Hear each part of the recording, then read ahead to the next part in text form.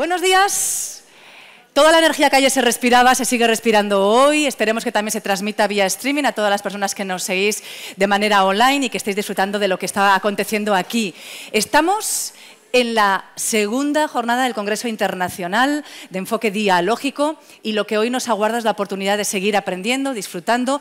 Vamos a conocer perspectivas internacionales, también estrategias que nos van a servir para el día a día de nuestra actividad. Eh, es lo que nos aguarda en esta mañana.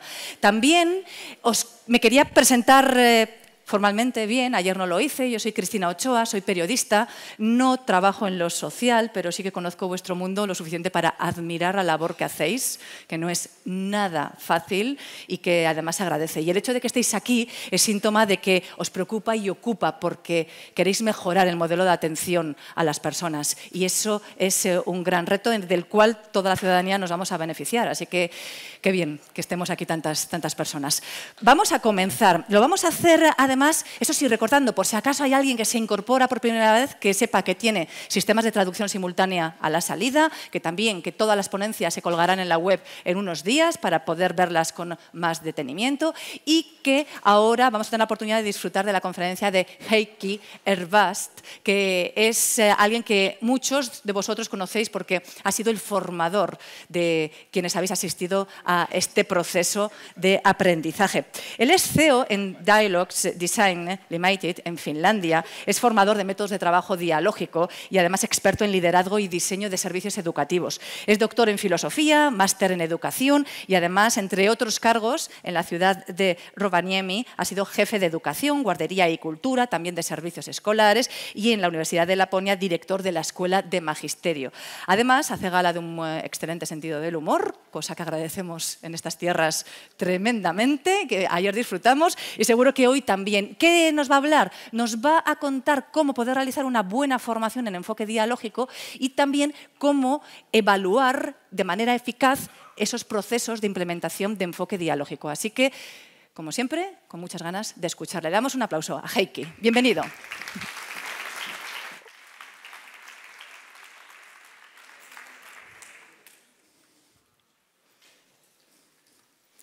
Can I stand? The lights are yes. I used to be a lightning designer too, so I know where to, how to stand in the lights. Uh, because Christina used all the languages I was going to use to say good morning, I will say only bonas. Um, the title here it says that uh, how can dialogical training be a driving force to create a change in services? What's, how do we do it? What is the meaning? And uh, I was looking at the title and uh, stopped for the word modelo. I started uh, thinking that very often people ask, uh, talk about dialogical method. And especially at the beginning of the training, they ask us, tell us what it is so that we know the method. So I started, uh, I decided to start uh, with the words model and method. If you follow a model or use a method, what do you do? Have a short two minutes, three minutes dialogue with your person sitting beside you, what do you do when you follow a model or use a method? Concretely, what do you do? Please.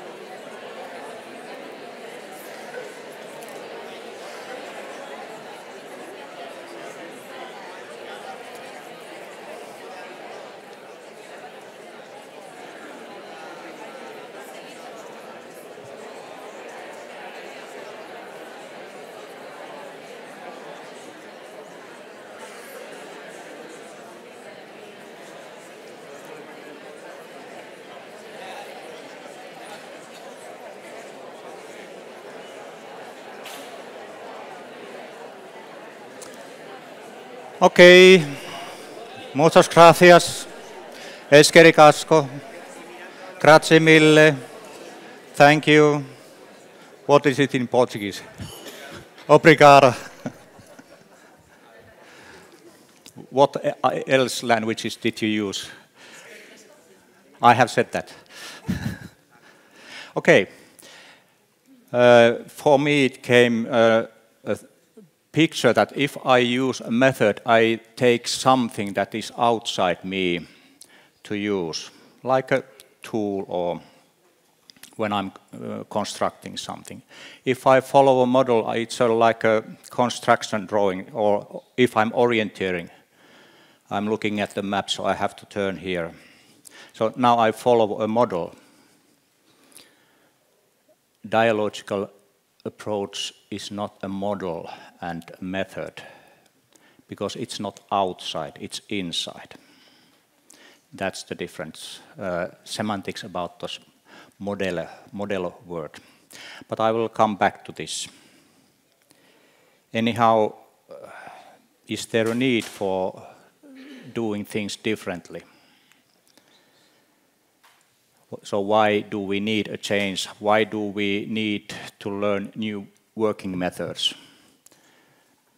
Because we want to entertain us or find interesting things to do, or is there a need?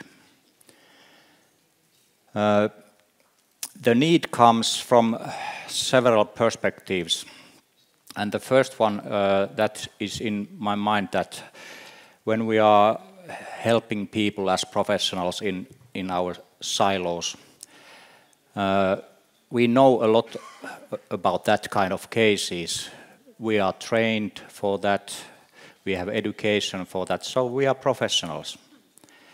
So it's very easy to see what's the problem with the person and what the person should do. And uh, then if I'm saying someone that, okay, this is the question, this is the pain in the ass, you should do this way, it gets better. Whose case is it then? It's professional's case, it's not the client's case. So the first thing is to remember that uh, these cases are not ours. They are client cases. And then uh, there is a need to work differently because life, as Tom yesterday told in his presentation, life is cross-sectoral. We can't uh, help people only by staying in our own silo or ways of working. We need cooperation and we must cross borders. But how to organize this kind of multi-professional networking this is one thing that we deal quite a lot of in this dialogical training. So how to cooperate although we are in those silos do we explode these silos away so that it's easier to cooperate? I think at some time in Finland there was a period when they created in municipality services uh, new departments which were combinations of something. And of course, uh, the names of the professions are changing all the time because of these needs. But uh, uh, th this is what I have learned from you, Tom. It's not necessary to uh, explode the silos and, and uh, structures. We just have to have capabilities to cross the borders. So cooperate. And then there is the question, when do we act with whom and how? This belongs also to the networking and need for do something differently? Are we acting early enough or too late? This has been going on a long time, why nobody has done anything for it. And then maybe for me the most important thing why why we need a change is to realize that uh, future is coming anyhow if we are staying here looking at these things that uh, we have troubles with, and we're dealing it, and we don't anticipate where we are going. If the future is there and we are looking things here, we are every day we are moving towards the future. So would it be a good idea that uh, at some point stop looking at the past and the present time problems and look at the, what's coming there? This is the anticipation dialogues. You could call them what if dialogues. If I do this way, what does it mean? What happens if I do that way? These are the, sorry, putting too late this Spanish slide, but I think that Saul and David have already translated my slide, so this is only a repetition. And uh, then what uh, makes dialogical approach a driving force when we start acting dialogically?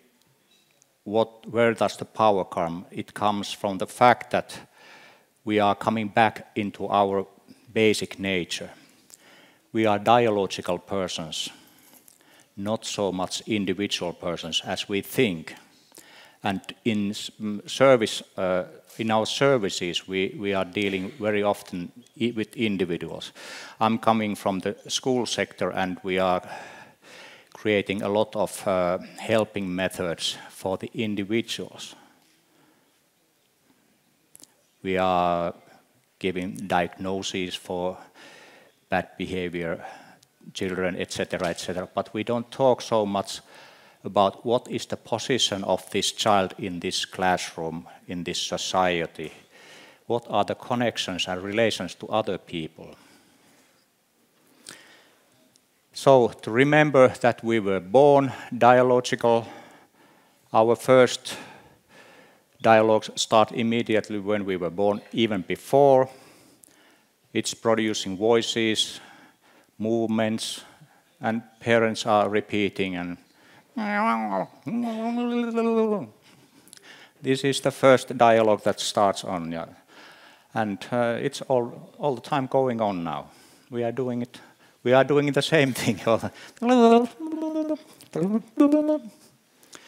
this is what we are doing here. So, uh, being a dialogical person means that it's the way how we develop, grow, and become what we are. And uh, if we get response from someone, it means that that someone is confessing my existence. I am something. Because they listen me and they respond to me. That's uh, nowadays one form of bullying in schools. They are because bullying is a difficult case in schools and especially in nowadays in social media. But uh, kids don't uh, use so much words and violence, visible violence in schools anymore. They just uh, turn their back to someone. I'm bullying Jukka by being this way.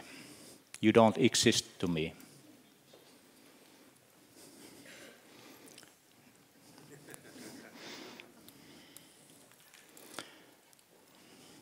The same thing. So, what kind of capabilities are needed uh, to make this change through dialogical processes? These are very simple elements because we are in the basis of uh, life. We must learn to listen.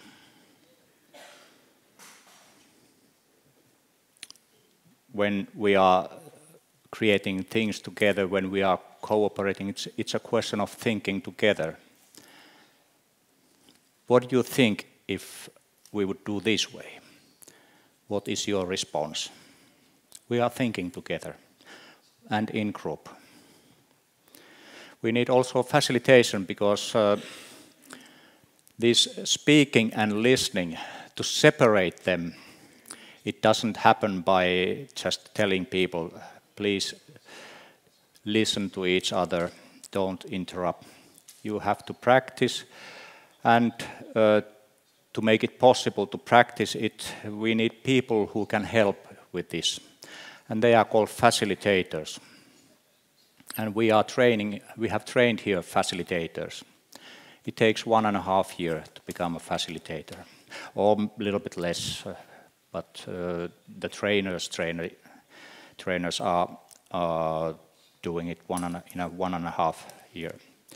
And then you have to have a capability to accept that the other person is the other person. The other person is not in the position I am. We must respect the otherness. Well, we are very willing to take a control of the other person because uh, we are looking, is the other person same as me or different? If, if Jukka is different, is Jukka dangerous to me? And so on. We do it naturally. We have to learn to respect the otherness. We can't get hold on the other per person in that sense. And again, anticipating the future. And this is uh, the one thing we have been doing, and Tom was also yesterday talking about, uh, instead of problems, talking about worries. This worry thinking is a background for facing to the future, to anticipate the future.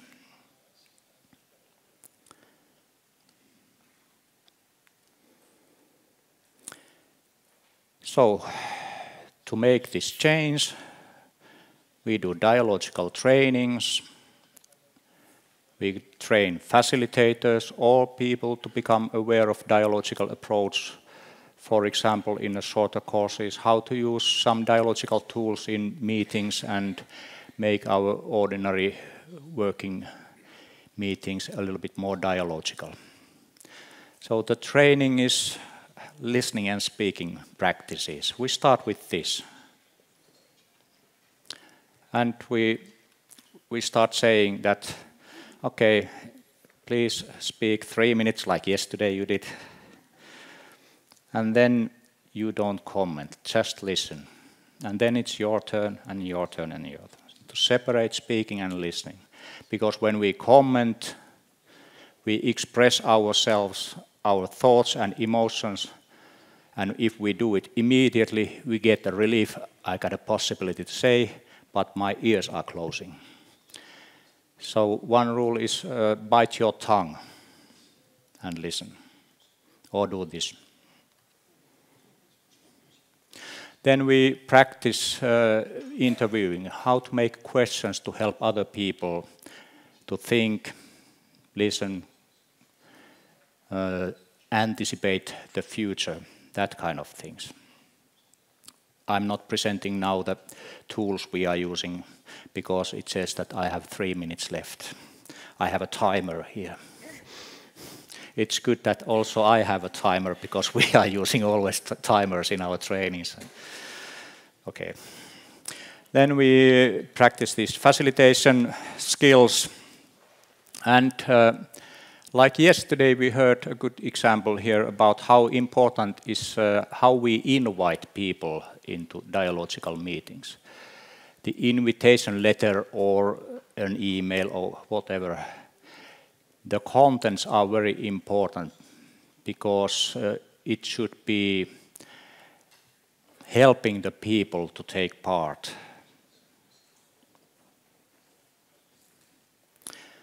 Then we take up, practice how to take up worries, how to handle challenging situations,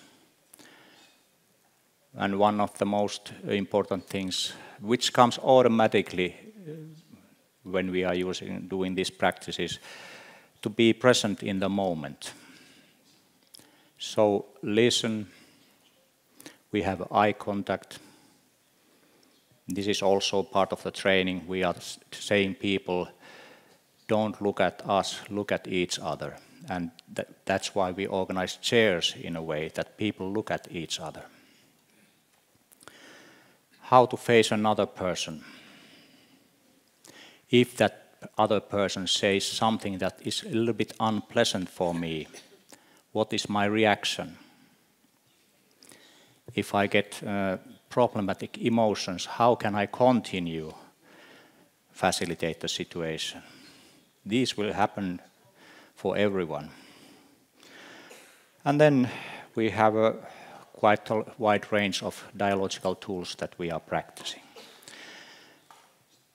So on the basis of this, coming back to the original question about model and method, dialogical approach is not a method that you take from the self and uh, okay, this sounds interesting, I shall use this. It's difficult, there are problems, it's not a good, I put it away this is not a method that you can take like a hammer or saw when you construct something. The method in dialogical approach is you. Pedro is a method. That's why these methods have, uh, we have uh, during this year had 95 different dialogical methods, variations. And this is the reason why uh, when you start doing dialogical things, you are the method yourself.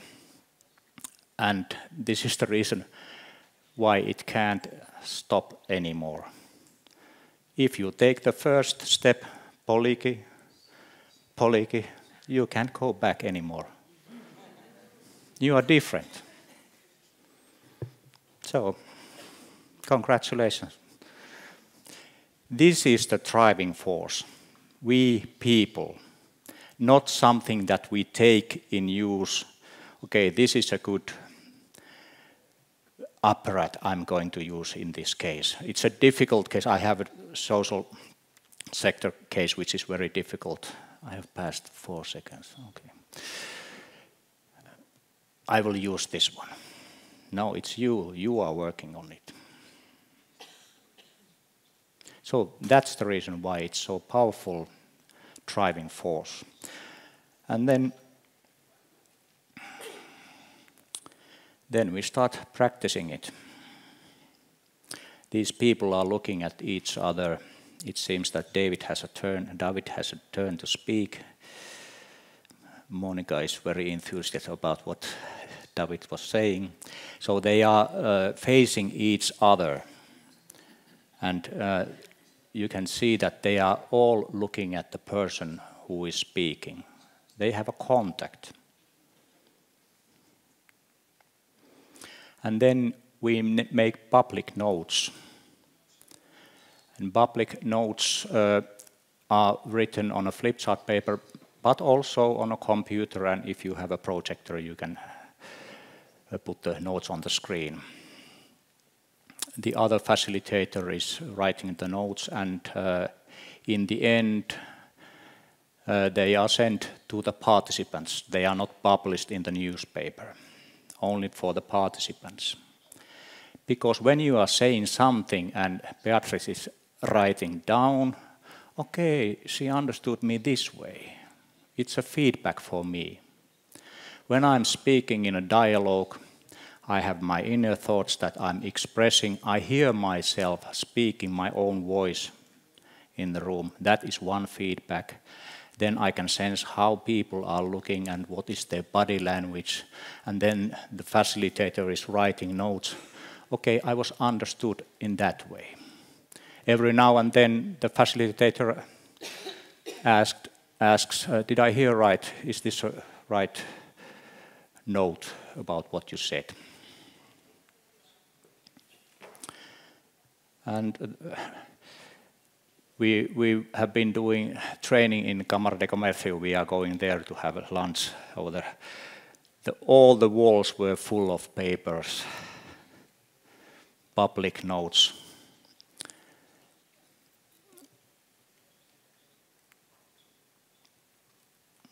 Thinking, thinking.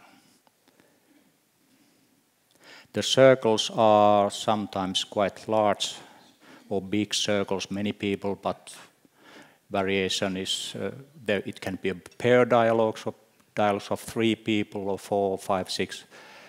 And sometimes in the end we have all the participants in a one round. Sometimes it thinking, in expressing is very intensive. I ask a promise for this.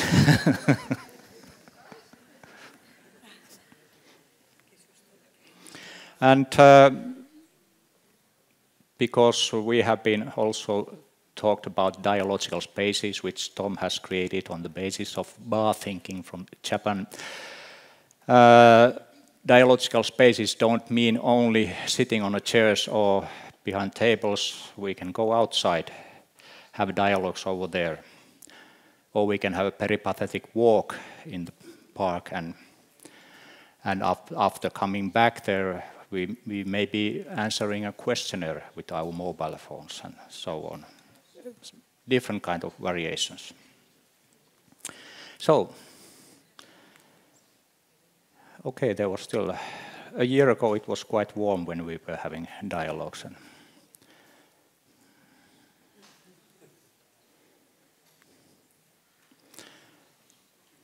Gracias. Eskeri Castro.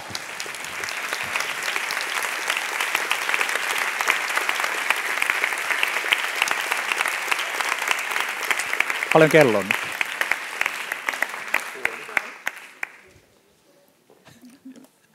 A question or? ¿Alguna pregunta tenéis para Heikki? ¿Alguien tiene algo que preguntarle? Seguro que mucho, pero aquí en, en este momento. No questions because I used the time for questions with, with the lapis style. Mira, una pregunta, Heikki. Mm. Eh, ¿Qué consejo le daríais para... Sorry. Yeah, I can translate. No. Yeah. ¿Qué consejo le darías a ellos, a ellas, para que contagien a otros profesionales? Pero claro, ellos están convencidos, pero luego se relacionan con otras personas que no están convencidas. Which advice will you give them to eh, contagiar, perdón, spread, to make other professionals to go for this uh, dialogic, di dialogic approach. The only way uh, to get familiar with dialogical approach is to take part dialogues. So how can they convince them? I mean, it's even not a question of convincing. This is not a convincing method. You have to take part dialogues and you get your own experiences. For example, at the beginning of the training, very often people want to uh, tell us also the theory part. What is it? Because uh, it's a question of safety. We want to know so that it's not causing too much harm mm -hmm. for our way of being and living. Tell what it is. And we say, okay, we tell you a little bit. But later we will tell more. First come the experiences after experiences you know. We tried this uh, uh, on the fifth month of the training and said, now it's time for the theory. And we created a big package of theory. The response was, we don't want theory. so invite people to your dialogues. That's the way how it goes. And of course, then you have to contact Gobierno and Navar and ask uh, dialogical trainings and that kind of things. And then, because we have now 11 networks of facilitators in Navarra region, if you have a need in your case, I would need help for this. Almost everywhere there is a network you can contact. Thank you very much. Un aplauso para él, por mm. favor. Thank you.